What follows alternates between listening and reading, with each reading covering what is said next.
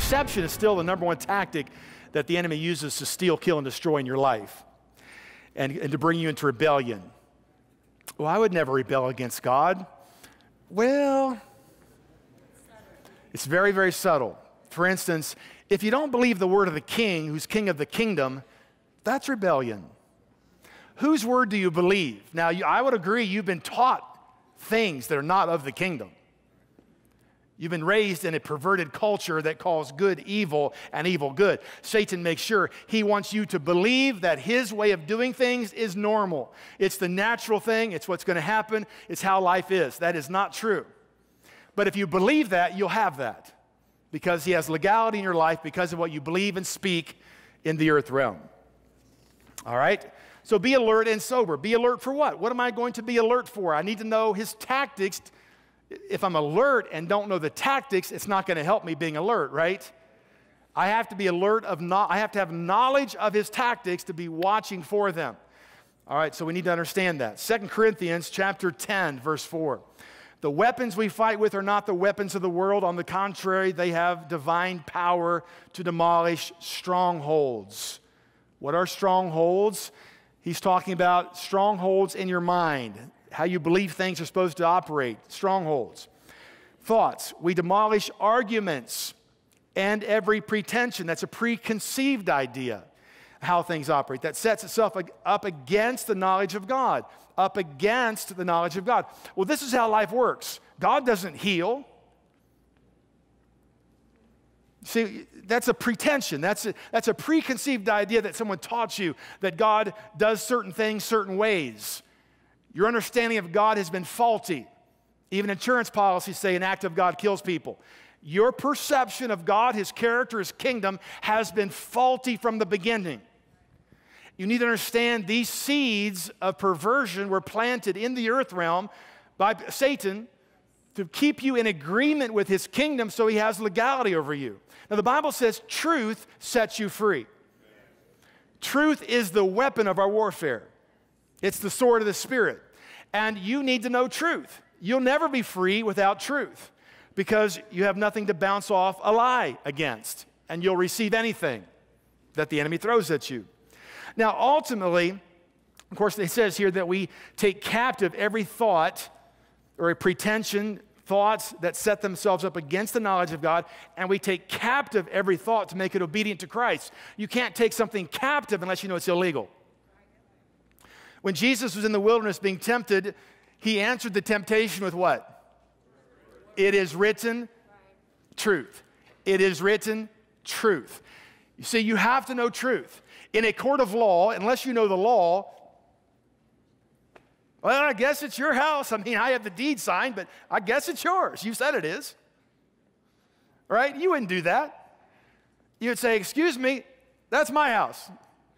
You go toe to toe, right? You'd no, illegal. You enforce, you'd want your rights enforced, correct? If you don't know what truth is, you can't enforce any rights because you don't have any rights.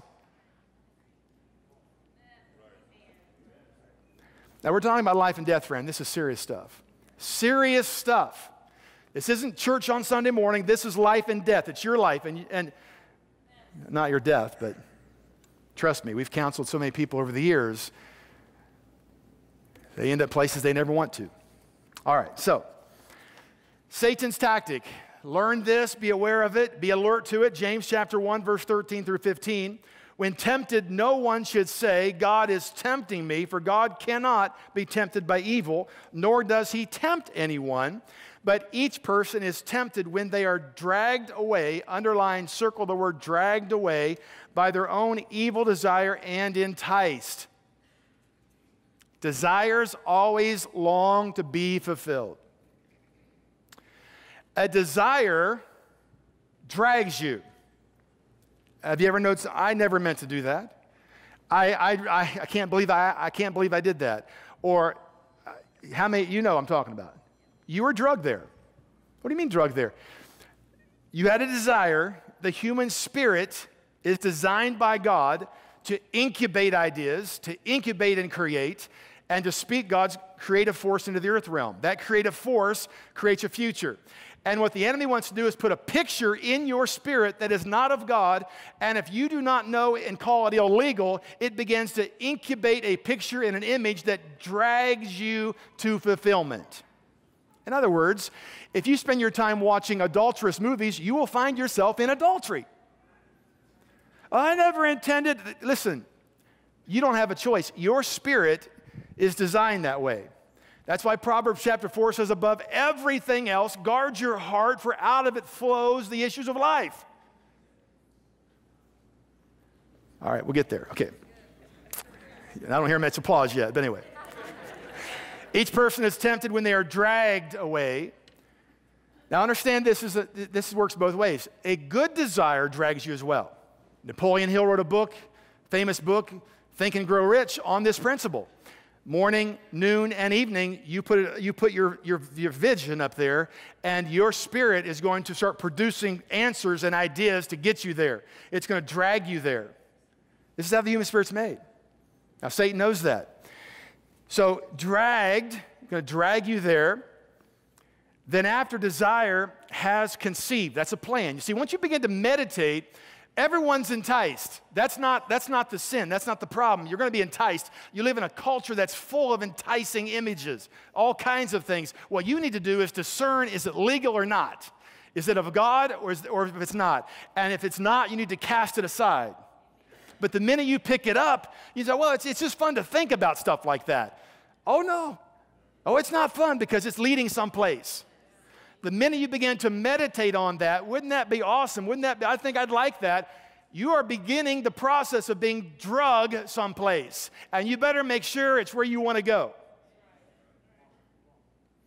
Then, when you have been enticed and you pick that thought up, then you begin to invent a plan. You're, you begin to calculate a plan to fulfill. Oh, it's still free. It's not going I'm not going to do it. Of course, I would never do that. But you envision and you kind of play with the idea.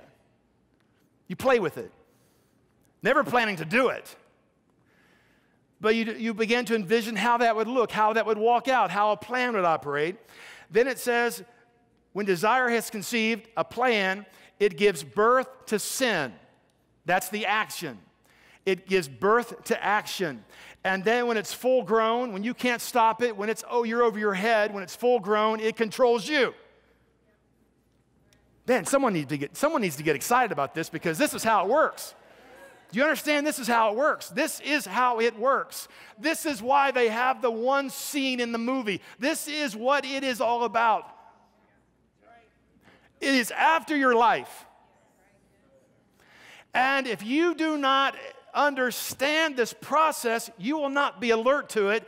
And you'll think, well, everyone's doing it. It's okay. It's our culture. It's how it's done. It is not how it's done.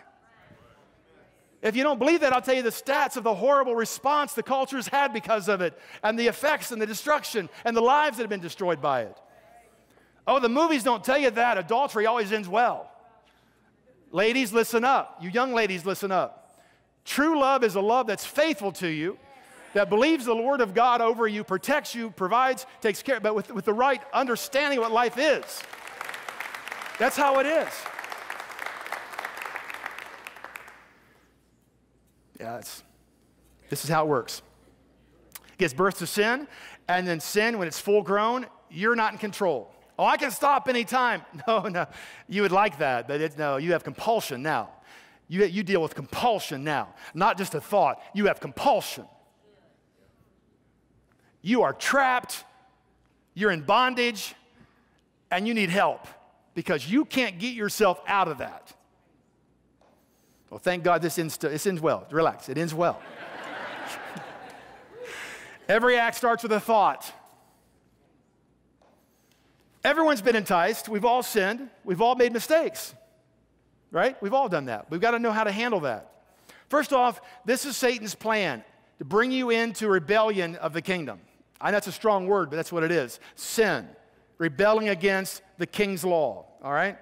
Fulfilling a desire illegally, going against righteous or going against what God calls right, how He designed life to be lived. And Satan will go to great and patient lengths to strategize your destruction. Jesus was being tempted in Luke chapter 4. Remember the three temptations? At the end of those temptations, he said, of course, it is written each time, right? At the end, at verse 13, when the devil had finished all of his tempting, he left him until a more opportune time. Oh, he'll keep trying. What's more opportune time? When he's not alert, when he's tired, when under pressure, trials, problems. Pain seeks pleasure. That's what Drenda always tells me, and it's a good thought. Pain seeks pleasure. And, you know, we have to be aware of those things.